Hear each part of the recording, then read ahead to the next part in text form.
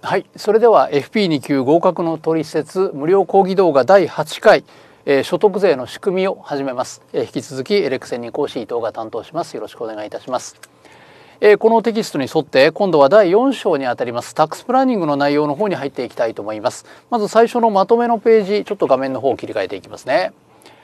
えー、タックスプランニングということで、まあ、税金全般の内容ということにはなるんですけれどもやはり所得税が中心であるということになります。でこの所得税の内容をですねもちろんこの科目の中心ではあるんですがすでに終わった例えば2科目目にあったリスク管理それから先、えー、3科目目にあった金融資産運用といったところでもですねこの所得税に関わるというところの内容は把握をしてきました。つまりこの学科試験実技試験ともにですね科目横断的に所得税の内容ということが出てきますますのでこの税金の内容については、まあ、科目としては6つの中の1つという割合にはなるんですけれども問題の構成する量としてはややそれよりも多く範囲があるんだということですね。所得税の分野についてはよりきめ細やかにということが科目横断的には必要になっていくと思います。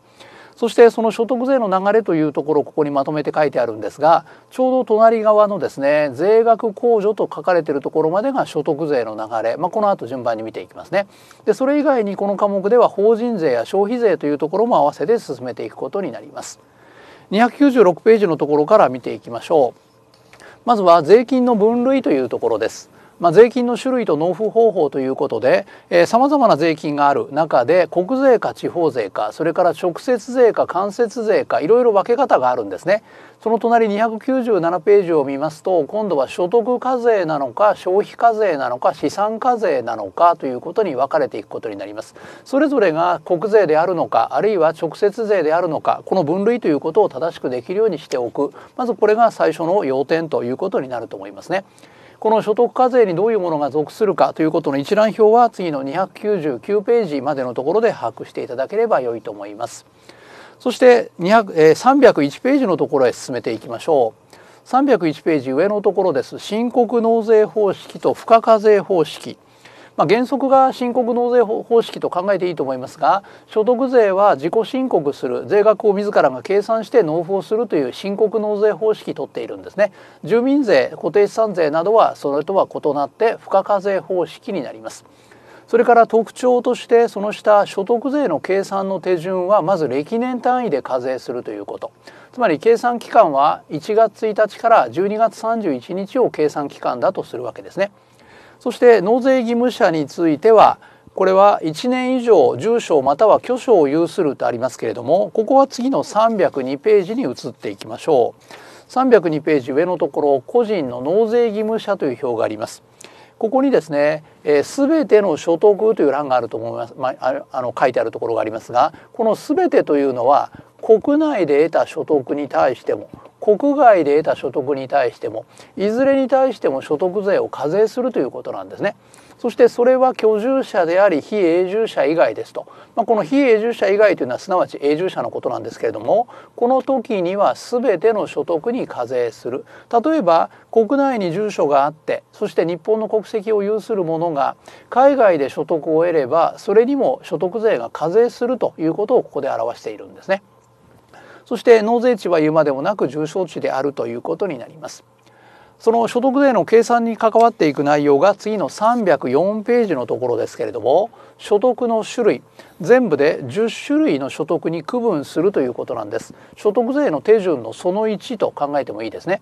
そして何がどの所得に属するのかということこれまとまっている表がありますから1番から10番ということで10種類あるということになります。でこのいずれかに属するとは言ってもですねこれ社会政策上などの観点から305ページにあるようにいくつかのものは非課税ということになっているんです。この非課税の中の代表的なものをまず挙げておきましょう。例えば会社員の通勤手当のうち15万円までこれ月15万円まで1ヶ月15万円までですからかなり高額ですけれども通勤手当これを超えると課税されます、まあ、会社員というよりは勤務先から受け取るですね通勤手当は全て15万円までであれば非課税だということになりますね。それから生活用動産の売却による所得生活用動産というのは金額で表すと30万に満たないもの30万以下のものということになるんですけれども具体的にはですね例えば衣類や家具それから自家用車こういうものを売却してもそれは非課税であるということになっていきます。この辺りは代表的な非課税項目として覚えておいていただきたいですね。そして10種類に分類したこの所得の種類ですけれども違った分類の方法としては306ページにあるようにですね最終的に税額計算をする際にその所得の種類が総合課税になるのかあるいは分離課税になるのかということでも区別することになります。総合課税の代表的なものとしては例えば給与この辺りは代表的なもの総合課税なんですね。ですから総合というのは文字通り合計をしなさいということなので会社員の人が給与があってそれ以外に例えば不動産所得もあると、まあ、2つ以上のものがあってそれが総合課税の中に含まれていればこれを合計して税額を計算するという方法をとります。そして分離課税の代表的なものとしては退職所得ですね。ということは勤務先から給与を受け取れば総合課税だし退職金を受け取れば分離課税だしということでこのように受け取り元が同じであっても課税方法には違いが出るということもこの表から見ていけると思います。そして唯一両方にあるものとして譲渡所得というのが双方に出てきています。総合課税になる分離課税になる両方に譲渡所得とありますね。これは後で譲渡所得のページでもう少し詳しくお話をしていきますが譲渡を示唆した資産の内容によってそれが総合課税になる場合と分離課税になる場合とに分かれるということになっていきます。所得税の税率表が307ページのところにありますけれども税率表を使っての税額計算は全ての所得計算の終わった、まあ、一番最後の段階ということです。そしてここの307ページにあるこの税率表これは超過累進税率という言葉が上の本文にもありますね。超過累進税率というのは一定の基準となる金額を超えると税率が次の段階に進んでいくという方法です。その一定のというのは最も少ない範囲のところでいけば課税所得金額195万円。そこを超えると税率は10%の適用範囲に上がっていくということ。これを超過累進税率と言います。ただ税額計算をする問題の時にはこの税率表は問題の中に載っていますからもちろん税額計算する問題実技試験などではたびたび出題されてるんですがこの表の中身はこれ覚えるものではありませんので問題の中に載っているものを使って計算をするということで対応できると思います。そして308ページ計算の流れのですね全体を5つに分けています今回の今お話しているこの動画の第8回目のところではこのうちのですねステップ2のところまでを範囲としてやっていきたいと思いますそしてステップ3のところから後が第9回の動画の中でお話をしたいと思うんですけれどもここがですねどういう違いがあるかというと、まあ、前半後半と言ってもいいんですけれどもまず前半の中最も大切なのは最初のステップの1ここで収入から必要経費を差し引くという言葉がありますね。所得税というのの計算の一つ一つ目のステップは収入と必要経費の関係なんですね。でこの収入と必要経費の差額のことを所得と言います。で所得が計算されたら次のステップ課税標準とありますがそこで行うのが損益の通算になります。損益つまりマイナスとプラス双方2つ以上あった場合にはそれを相殺するということですね。まあ、そういう流れでまずここの手順としてはステップ2のところまで次のページのところから見ていきましょう。310ページに進みたいと思います。各所得額の計算というところですね。え10種類ありますからここから10種類順番に出てくることになるんですがその1つ目利子所得利子については金融資産運用の中でも触れました例えば預金の利息などを受け取るあるいは債券の利子などを受け取るとそれが利子所得になります利所得の特徴としては経費が全く認められていません。したがって利所得を計算するときには収入と所得の金額はこれは一致しているイコールであるということが計算されて書かれていますね。利所得については金融でも触れましたが住民税を加えさらに復興税を加えると20.315%として計算されます。源泉分離課税という言葉がありますが預金の利子については現在では全て源泉徴収される。ですからこれを源泉分離課税と言います。他のものと合計することは現在は認められていないということなんですね。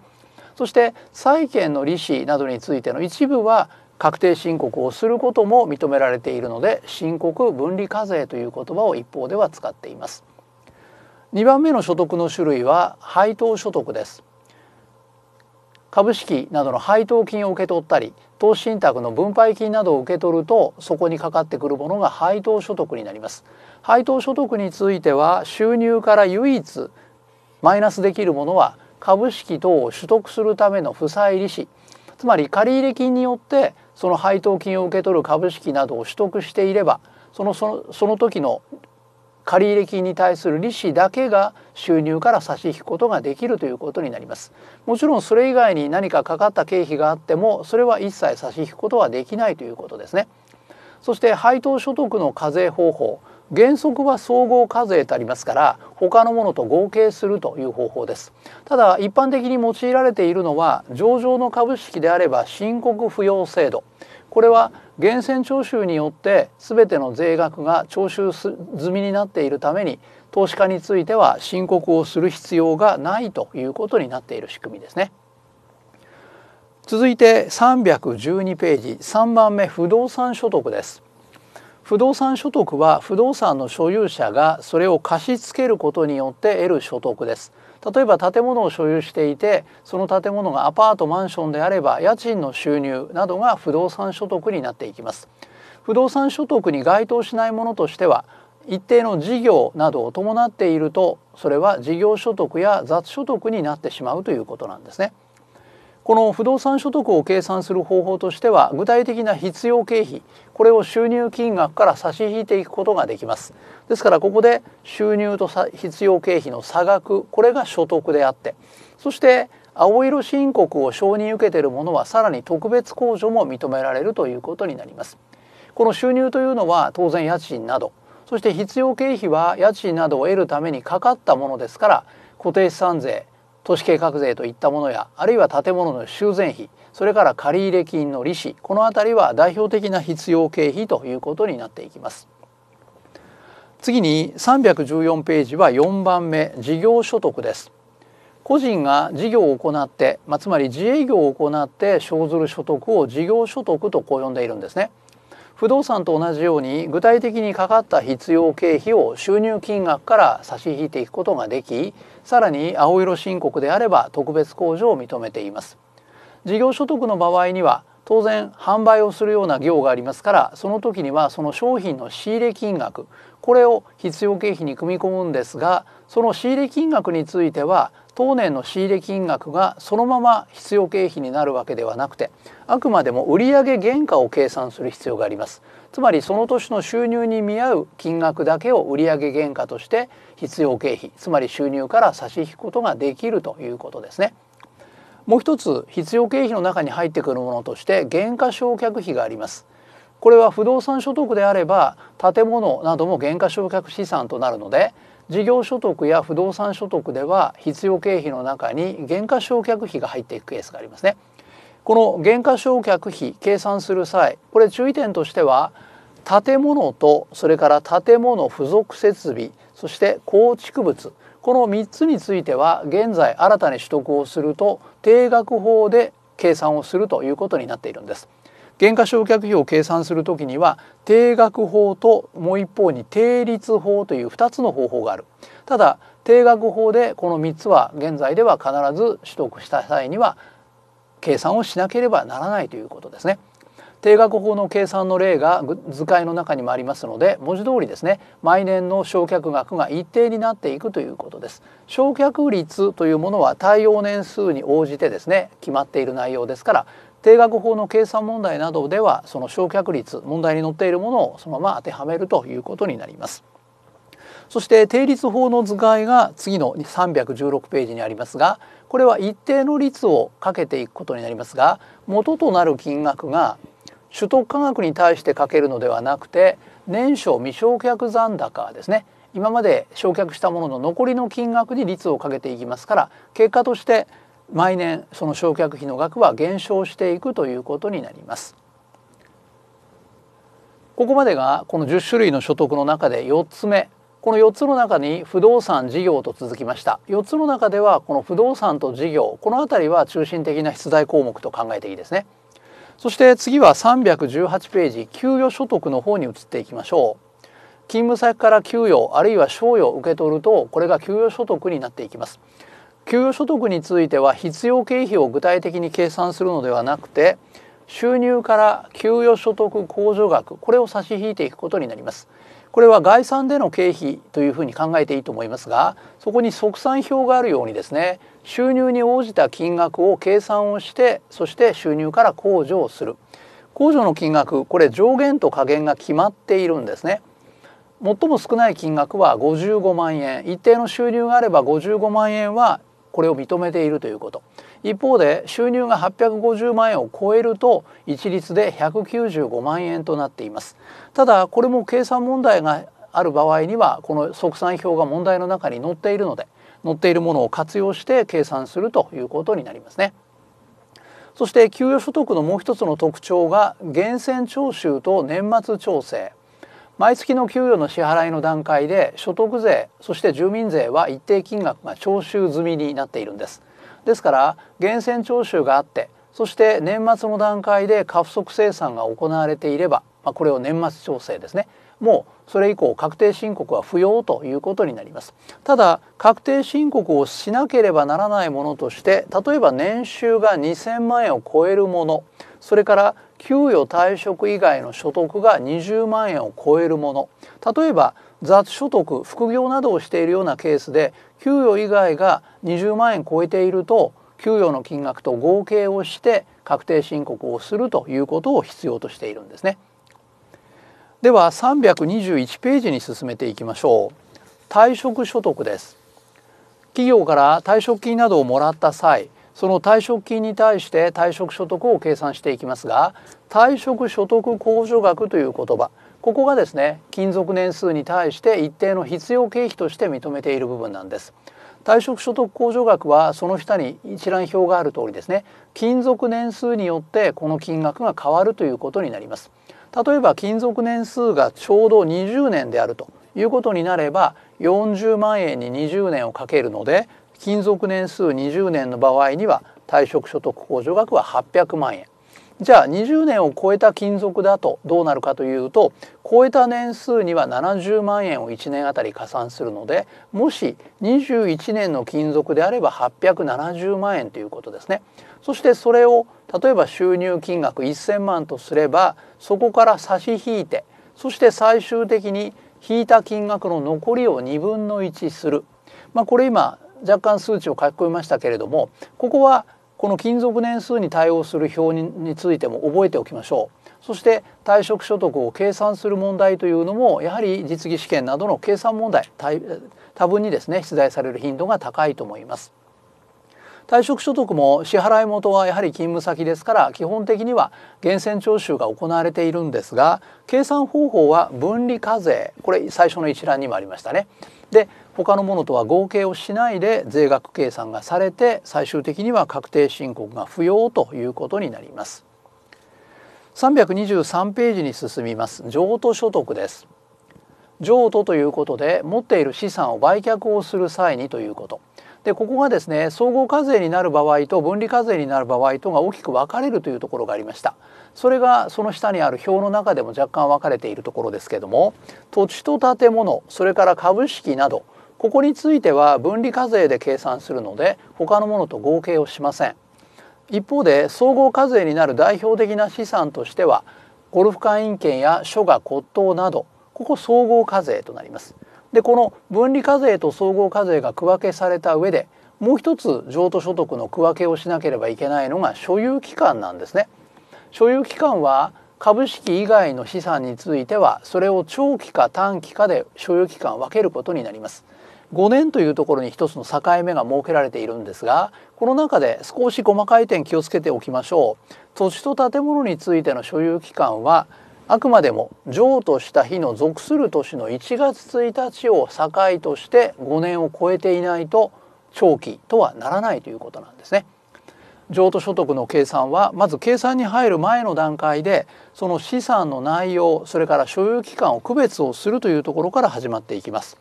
でこれを区別した上で計算をするのが324ページのところ。下のところに3つの計算式が分かれているのが今資産を3通り分けたところですね。そして土地建物株式それから総合課税と分かれます。総合課税の中で一点基本なところを覚えていきましょう。特別控除額最高50万円。この最高50万の特別控除は特に要件がなくとも総合課税の計算では差額から控除をすることができますでそれに対して土地建物の譲渡の際にある特別控除はこれは不動産の科目で具体的にお話をしていきますが居住用の財産などの場合には特別控除を認めているということになります。この譲渡所得を計算する際には当然必要経費という考え方はありませんが売却額つまり収入から差し引いていくものには取得費があります以前に取得した際の金額ということですねでこの取得費が仮に不明な時には収入の5%を概算取得費として用いることもできるようになっているんですね土地建物や株式については分離課税ですからその所得に対して直接税率をかけることによってその税率を次のページのところでも確認しておいていただくと良いと思います。326ページは一時所得です。一時所得これいろいろなケースで設けられている所得なんですが試験対策の中で代表的なものは生命保険の満期あるいは解約返礼金ということで覚えておきましょう。リスク管理の中でもお話をしましたけれども契約者がですね例えば被保険者でありさらに満期保険金などを受け取ればそれは契約者本人が一時所得として所得税が課税されるというところがあったと思います。もちろん被保険者が契約者ではないケースでそして被保険者が死亡した際契約者が受取人になっているとその受取人としても所得税課税がされるということですね。この一時所得についての計算は保険のことを例にとると支出金額というものが支払っていた掛け金保険料のことになります。受け取った満期保険金などから掛け金総額を引いてそこからさらに特別控除額の50万円を引くことを認めているわけですね。この特別控除50万円を引くのは先ほどの総合課税の譲渡所得と同じような計算過程にあるということになります。でさらに一時所得については総合課税として次の段階で総所得金額に参入という手順になります。その時は一時所得そのものの金額を2分の1をすることが可能なんですね。じゃあ例えば500万の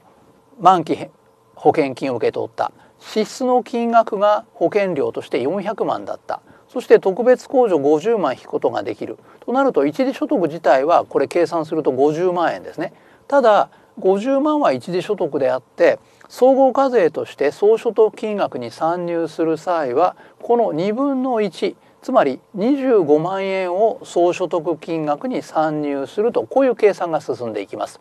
この辺りは2分の1をするということを忘れがちなところなのでどちらかというと計算問題の中に組み込まれてくる可能性が非常に多くなるところですね。そして10番目の所得が328ページの雑所得今までの9種類の中に含まれていなかったものを雑所得としてまとめていくんですがここの中に入ってくる代表的なものは公的年金です。ライフプランニングと資金計画の2回目でもお話をした老齢基礎年金や 老齢厚生年金などを受け取るとそれを公的年金として雑所得の計算をしますそれ以外にも確定拠出年金の老齢給付金これも雑所得としての公的年金となっていくんですねただ他のものも加えてまとめて雑所得にする場合には公的年金とそれ以外とに分けて計算をするということになります。この公的年金についてはその必要経費にあたる部分は公的年金等控除額ということで計算をしていきますが公的年金等控除額もやはり速算表を使っていきます。その速算表は次の330ページのところ。必要となる問題ではこの速算表は載っているので内容はもちろん覚えておく必要はありませんけれども年齢によってですねその年金を受け取る受給者の年齢によって使っていくこの速算表が違うということだけは注意をしておいていただきたいと思います。ここまでのところがですね所得10種類に分けてということでそれぞれの計算をしてきました。収入それから必要経費もちろん必要経費については所得の種類によって少しずつ言葉の違いということはありましたけれどもこの収入から必要経費等々のものを差し引くことによって所得を求めたということになったんです。つまりステップ1ということだったんですね。で次のステップ2というのが課税標準の計算というところでした。この課税標準の計算は損益通算を行うということ。それを次の332ページのところから見ていきましょう。332ページ損益通算と損失の繰越控除というところですね。そしてこのページ下に図解があります。損益通算できる所得不動産事業山林譲渡。この4つの所得。でこれがですねつまりマイナス赤字となった時には通算することができる。じゃあマイナスに対するプラスはというと例えばマイナスの不動産とプラスの給与。まあ、こういう形で組み合わせをして損益通算をすることができるということになるんですね。で損益通算のまずこれを原則と考えた時には例外が出てきます。で損益通算ももちろん給与と不動産といったように2つを組み合わせるのであればそのまま単純に組み合わせればいいわけなんですが3つ以上の通算をする所得の種類が3つ以上になった時は次の333ページにある通り手順というものがあります。